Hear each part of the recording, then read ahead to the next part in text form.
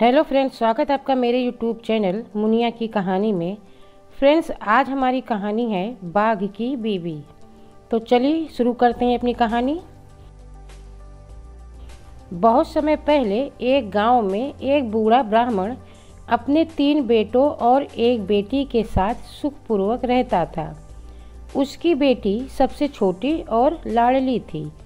इसीलिए उसका पालन पोषण ब्राह्मण ने बहुत प्यार से किया था। परंतु इसका नतीजा यह हुआ कि लड़की बिगड़कर बहुत जिद्दी हो गई। साथ ही उसमें एक कमी और थी, जब भी वह किसी अच्छे लड़के को देखती तो तुरंत अपने माता पिता के पीछे पड़ जाती कि वे उसी के साथ उसकी शादी कर दें।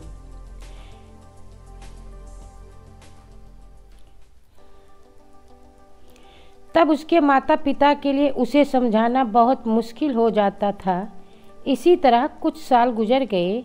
लड़की वयस्क हो गई, लेकिन शादी के लिए जिद करने की उसकी आदत पहले जैसी ही बनी रही। लड़की के माता पिता यह भी जानते थे कि रिवाज के अनुसार अगर उन्होंने शीघ्र ही अपनी बेटी की शादी नहीं की तो बिरादरी उनका हुक्का पानी बंद कर देगी। इसीलिए वे अपनी बेटी के लिए व्यग्रता से योग्य वर की खोज करने लगी। उस गाँव के पास ही एक घना जंगल था, जिसमें एक खूंखार बाघ रहता था। उस बाघ ने किसी प्रकार काला जादू सीख लिया और अब वह कोई भी रूप धारण कर सकता था। उस बाघ को ब्राह्मणों के हाथ का भोजन खाने का बहुत शौक था। वह अक्सर ब्राह्मण का वेश रखकर मंदिरों में चला जाता था और वहाँ पर ब्राह्मणों के साथ ही भोजन करता था। वह शादी भी किसी ब्राह्मण की बेटी से ही करना चाहता था, ताकि वह उसके हाथों से बना खाना खा सके। एक दिन जब वह बाघ ब्राह्मण के रूप में बैठा, भोजन कर रहा था तभी उसने वहाँ बैठे लोगों से उस ब्राह्मण की लड़की के विषय में सुना, जो अच्छे लड़कों को देखकर उनसे शादी करने की बात करने लगती थी उनकी बातें सुनकर बाघ ने सोचा, मैं एक सुंदर ब्राह्मण युवक का वेश रखकर उस लड़की के पास जाऊँगा। फिर तो वह लड़की मुझे देखते ही मुझसे शादी करने के लिए तैयार हो जाएगी। अगली सुबह बाघ एक विद्वान ब्राह्मण युवक का वेश रखकर उस लड़की के गाँव की ओर चल पड़ा। गाँव के पास स्थित नदी के तट पर बैठकर वह रामायण की चौपाइयों का पाठ करने लगा। जब उस गाँव की स्त्रियाँ नदी से पानी भरने आईं तो वे उसकी आवाज़ सुनकर आश्चर्यचकित रह गईं। थोड़ी देर बाद वह लड़की भी अपनी माँ के साथ वहाँ पानी भरने जा पहुँची, जिसे अपने चंगुल में फंसाने के लिए बाघ वहाँ आया था। वह भी युवक बने बाघ को देखकर ठगी सी रह गई और उसके सुंदर रूप की ओर आकर्षित हो गई। उसने फ़ौरन अपनी माँ से कहा कि वह उसकी शादी उस ब्राह्मण युवक से कर दे। उसकी माँ को भी उस युवक का व्यक्तित्व बहुत अच्छा लगा था। उसने घर जाकर अपने पति से कहा कि उनकी बेटी के लिए योग्य वर मिल गया है। जब लड़की के पिता ने नदी के तट पर जाकर उस युवक को देखा तो वह भी प्रभावित हुए बिना नहीं रह सका। फिर उसने उसी वक्त को अपने घर भोजन करने के लिए आमंत्रित किया। बाघ को तो इसी अवसर की प्रतीक्षा थी। उसने तुरंत लड़की के पिता का आमंत्रण स्वीकार कर लिया। जब वह युवक उस लड़की के घर पहुँचा, तो उसका खूब स्वागत सत्कार किया गया। बातों ही बातों में लड़की के पिता ने उस युवक से उसके वंश और गाँव आदि के बारे में पूछा। तो उसने चालाकी से जवाब दिया कि वह जंगल के पार ही एक गाँव का रहने वाला है और ब्राह्मण वंश में उत्पन्न हुआ है। लड़की के रिश्तेदारों ने भी उस युवक से कई प्रश्न किए, लेकिन युवक ने सारे प्रश्नों का बड़ा ही संतोषजनक उत्तर दे दिया। किसी को भी उस पर तनिक भी संदेह नहीं हुआ। फिर उस युवक की उस लड़की के साथ शादी तय कर दी गई। निश्चित तिथि पर दोनों का धूमधाम से विवाह हो गया। विवाह के बाद भी लगभग एक महीने तक ब्राह्मण वेशधारी बाघ अपनी ससुराल में रहा। फिर एक दिन वह अपने ससुर से बोला, ससुर जी अब मुझे यहाँ रहते हुए बहुत दिन हो गए हैं। मुझे अब वापस जाना चाहिए, क्योंकि घर पर मेरे माता पिता भी मेरा इंतज़ार कर रहे होंगे। इसलिए आप मुझे अपनी पत्नी को साथ लेकर जाने की अनुमति दीजिए, ताकि मेरे माता पिता भी अपनी बहू को आशीर्वाद दे सकें। बूढ़े ब्राह्मण को, भरे हृदय से युवक को, अपनी बेटी को साथ ले जाने की अनुमति देनी ही पड़ी। अपनी बेटी के विदा होने की घड़ी आने पर उसकी माँ भी बहुत अधिक दुखी थी। पूरी रात वह अपनी बेटी और दामाद की यात्रा के लिए रोटियाँ और मिठाइयाँ बनाने में जुटी रही। लड़की के रिश्तेदारों ने दामाद से निवेदन किया कि यात्रा के दौरान जब भी उनकी बेटी थक जाए, वह उसे आराम करने और भूख लगने पर भोजन करने की इजाज़त दे दें। दामाद ने उनकी यह बात मान ली। फिर युवक बने बाघ और उसकी पत्नी अपनी यात्रा पर चल पड़ी। कुछ दूर जाने के बाद लड़की ने एक तालाब देखा तो उसने अपने पति से उस तालाब में स्नान करने और कुछ देर वहाँ आराम करने की आज्ञा मांगी। लेकिन युवक ने उसे डांटते हुए जवाब दिया, चुप रहो, नहीं तो मैं तुम्हें अपना वास्तविक रूप दिखा दूँगा। उसकी बात सुनकर लड़की डर गई और चुपचाप उसके साथ चलने लगी। कुछ दूर जाने के बाद उसने एक और तालाब देखा तो उसने फिर अपने पति के सामने अपनी पहली वाली बात दोहराई। लेकिन उसके पति ने एक बार फिर से मना कर दिया। अब तक लड़की को तेज भूख भी लग गई थी, इसलिए उससे रहा नहीं गया और वह झुंझुला कर बोल पड़ी, दिखाओ, अपना वास्तविक रूप। मैं भी तो देखूँ कि तुम्हारा वास्तविक रूप क्या है। उसके यह कहते ही उसका पति बाघ के रूप में बदल गया। अपने पति की जगह बाघ को खड़े देखकर लड़की की सिट्टी पिट्टी गुम हो गई।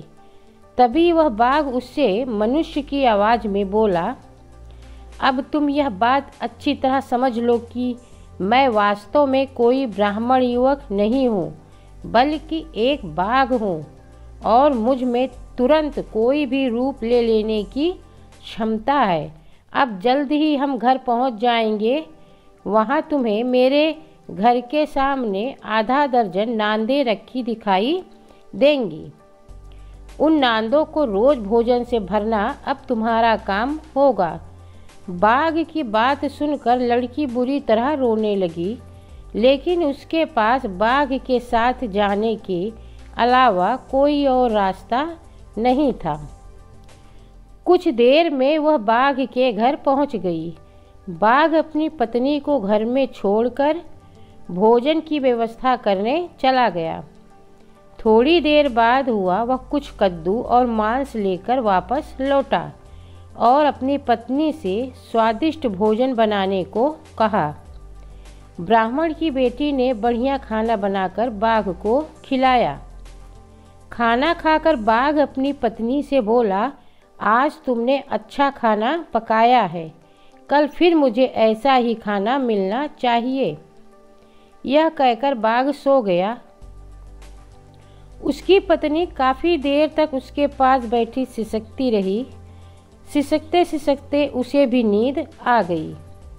अगली सुबह बाघ के जाने के बाद उसकी पत्नी ने फिर भोजन तैयार किया और सारी नांदों को भोजन से भर दिया। अब रोज़ाना उसका यही काम था। इसी तरह समय गुजरता रहा। कुछ समय बाद उसने एक पुत्र को जन्म दिया, जो अपने पिता के समान एक बाघ ही था। बाघ के साथ रहते हुए वह बहुत घुटन महसूस करती थी और किसी भी तरह वहाँ से भाग निकलना चाहती थी। एक दिन जब वह अकेले बैठी रो रही थी, तभी एक कौआ उसके घर के बाहर आकर बैठ गया। लड़की को रोते हुए देखकर वह भी रोने लगा तब वो लड़की कौवे से बोली, क्या तुम मेरी मदद कर सकते हो? क्यों नहीं, कौवे ने तुरंत कहा। फिर वह लड़की एक बड़ी सी पत्ती ले आई और उसी पत्ती पर उसने अपने भाइयों को एक पत्र लिख डाला, जिसमें उसने अपनी सारी आप बीती उन्हें सुनाकर उनसे जंगल में आकर उसे बाघ के चंगुल से छुटकारा दिलाने का आग्रह किया था। वह पत्र उसने कौवे के गले में बाँध दिया और उससे वह पत्र अपने भाइयों के पास पहुँचा देने का निवेदन किया। वह दयालु कौआ तुरंत पत्र लेकर उसके भाइयों के गाँव की ओर चल पड़ा। वहाँ वह उनके घर में जाकर उसके भाइयों के सामने जा बैठा। भाइयों ने कौवे के गले में बंधी पट्टी खोली और पढ़ने लगे। वह पत्र पढ़ते ही वह आश्चर्य से कांपने लगे। उन्हें विश्वास नहीं हो रहा था कि उनका जीजा वास्तव में एक बाघ था। तीनों भाई तुरंत अपनी बहन को वापस लाने के लिए जंगल की ओर चल पड़े। वे अभी थोड़ी ही दूर गए थे कि उन्हें एक गधा दिखाई पड़ा। सबसे छोटे भाई ने वह गधा भी साथ ले जाना चाहा। बड़े भाइयों ने पहले तो मना किया, लेकिन बाद में वे भी गधे को साथ ले जाने के लिए तैयार हो गई। फिर वह आगे चल पड़े। चलते चलते दोपहर हो गई और तीनों भाइयों को तेज भूख लगने लगी। तब वह एक तालाब के किनारे जा बैठे, किंतु भोजन की पोटली खोलने पर देखा कि वह उस पोटली में एक छेद हो गया था और सारा भोजन उस छेद से गिर गया था। अब भूख के कारण उन्होंने उस तालाब का पानी पीकर ही अपना पेट भर लिया। फिर वह कुछ आगे चले तो उन्हें लोहे का एक बड़ा टब दिखाई दिया, जो पास के ही एक गाँव के धोबी का था। वे उस टब को भी साथ ले चली। कुछ और आगे जाने पर उन्हें एक चीटी मिली। उन्होंने उस चीटी को भी अपने साथ ले लिया। बाघ के घर पहुँच कर उन्होंने उससे लड़ने के लिए एक पेड़ भी उखाड़ लिया। चलते चलते वह अपने बाघ जीजा के घर पर जा पहुँची। उस समय बाघ घर से बाहर गया हुआ था और सिर्फ़ उनकी बहन और उसका बच्चा घर में थे।